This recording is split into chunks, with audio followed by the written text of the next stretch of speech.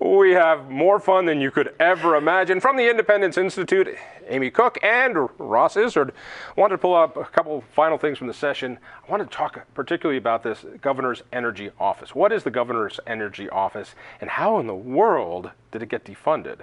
Well, actually, it is now the Colorado Energy Office. It's gone through a couple of iterations, but basically, last night, it was SB 301, so Senate Bill 301, one of the late bills that was introduced that included the reauthorization of the governor's energy office. Started in the Senate, was sent over to the House. The House larded it up with things like, uh, I mean, just all kinds of stuff.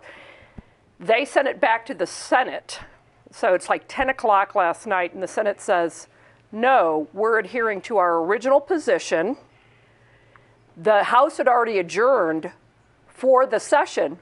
So no reauthorization of the governor's energy office. How much does this or sa- the Colorado energy office? How much does this save taxpayers? It was about three million dollars, I think. Three million dollars. Yeah, but it, it, and I should say, yeah, well, well, yeah, and and it's an office, by the way, that started back in the '70s.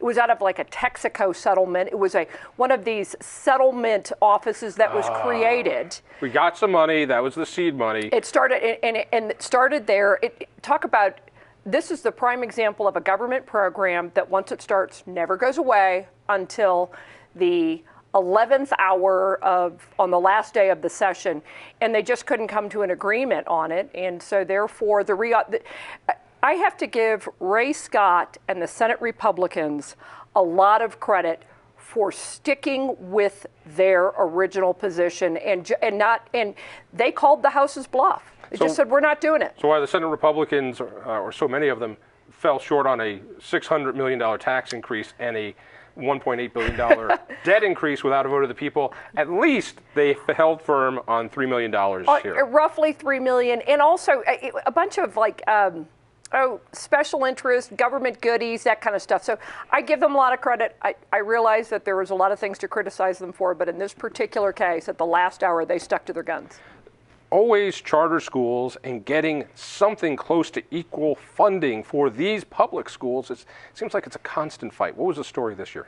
Yeah, so this year they last year we had a bill that tried to do that. It didn't get very far. The House Speaker said, "No, we just would rather not do that." Didn't get too far. This year they tried again, and it was sort of an interesting thing because the session started out really boring on the education side. I have a big whiteboard in my office where I write down the bills, and there were like, you know, 10 things on there. It was pretty boring.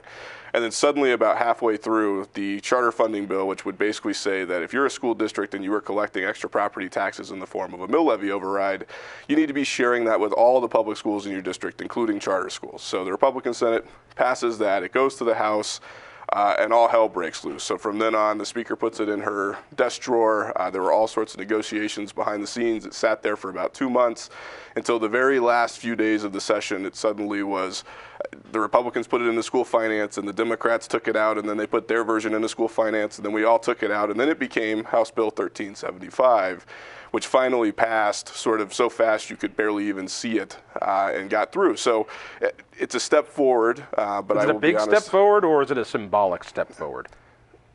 It, it, depending on how you read it, it might not be either. So the problem here is that it's a, um, you- so it's it's it's probably progress, but the issue is that you have a situation here where if you're a district that really doesn't want to share this stuff, you can still not share it. You just have to not share it under these particular circumstances. I'm, I'm trying to get this across, which is, and and these are the people in control of you know 27 billion dollars and and our laws. Well, we, we, they don't know what they're voting on. There was something that was we thought would be a pretty good victory. A bit of cronyism for Xcel Energy. No, I shouldn't say a big a bit. It's a big bit of cronyism. It's called des, uh, demand side management. And these things get lost because they never really make the news. But what was this, and what's it going to cost us, and who's going to pay? Well, well, first of all, you will pay for it if you're an Xcel Energy ratepayer like I am, or 1.4. Everybody- most people 1. watching this are. Right, and by the way, whatever Xcel does often trickles down to the other ratepayers. So while this it, it doesn't necessarily apply to everybody, um, what what Xcel does often just ends up everywhere else. So this it's called demand side management, but what what it really is is them lecturing you to use less electricity. For that, because they're a monopoly, and the PUC, in its wisdom, Public And this- Utilities Commission. And the state, and, and at the time, a Democratically, Democrat-controlled state legislature said, "Well, we realize it goes against your interest, your business interest. So I'll tell you what, we're going to let you profit. We're going to let you recover the cost of telling people to not use your product, and then we're going to let you profit. And then it has all of these mechanisms that they can allow them to profit without limitation. So as Wait, wait, wait, Listen, listen, I don't get it either. So right, so, so Xcel is in the business of manufacturing electricity and power, selling that. Right.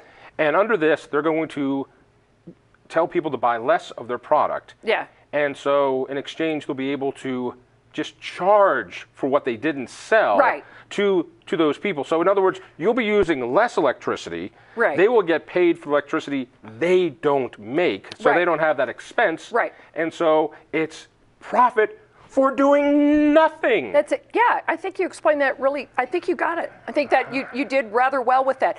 And in addition to that, they also they also passed. yes, the reauthorization of it passed. So we were hoping it would stop in the Senate.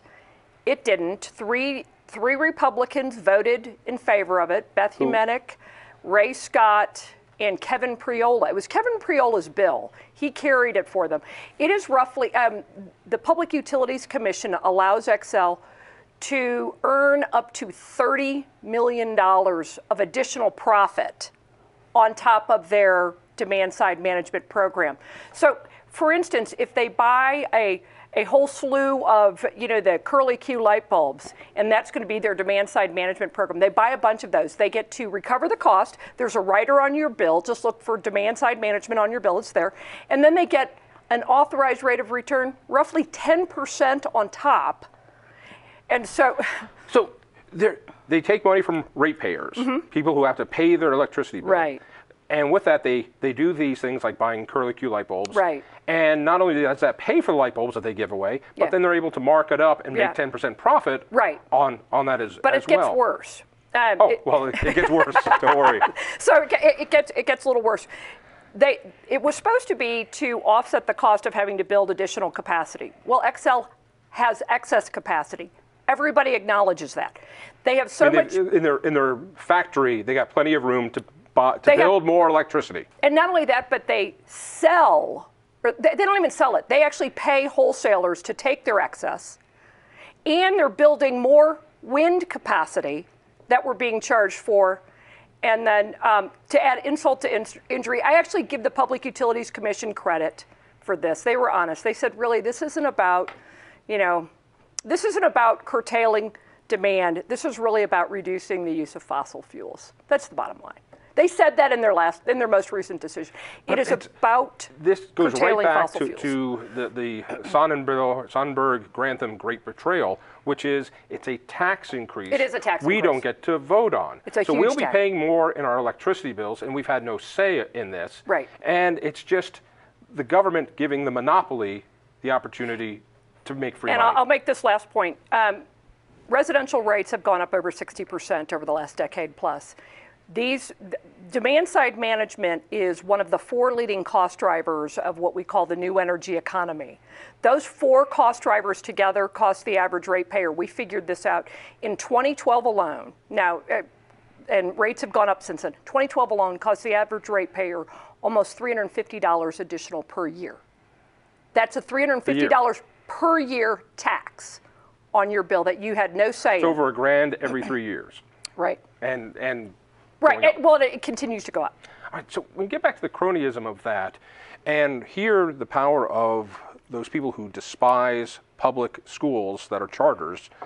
You know, it is as if these outside forces have more influence under that dome than voters do. Am I?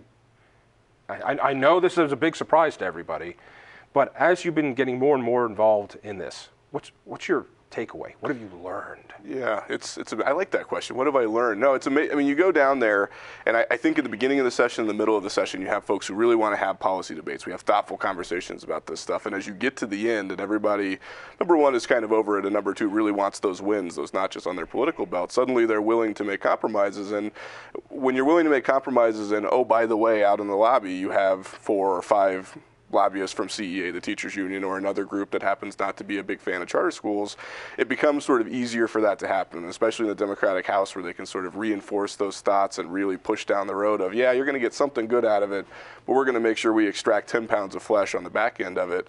Um, you have an awful lot of people down there and an awful lot of rooms, very few of which are open to the public, and you get decisions that are sometimes okay and sometimes not, but either way, it's, it's easy to feel uncomfortable with that. Less than a minute. Xcel has such power there that we were joking when they had that uh, wrapping around the dome that when they peeled off the wrapping, there was going to be an Xcel symbol, which with something that just said, "Why rent when you can buy?" um, why is Xcel so successful in pushing their agenda? What, what makes them so very powerful? They have great lobbyists. I mean, I mean, Ross is right when he says, you know, you cut, you step outside and all those lobbyists are there. These are great lobbyists, and I will say this: Xcel was very smart in hiring um, folks left over from the Owens administration, so you can get Republicans kind of on on board, seemingly. Ah, cronyism reigns supreme. Amy, thank you. Ross, thank you. Thank you. Listen for me on KHOW Radio. Read me in the Denver Post. Tell a friend about the Independence Institute. That's independenceinstitute.org, and we'll see you next week.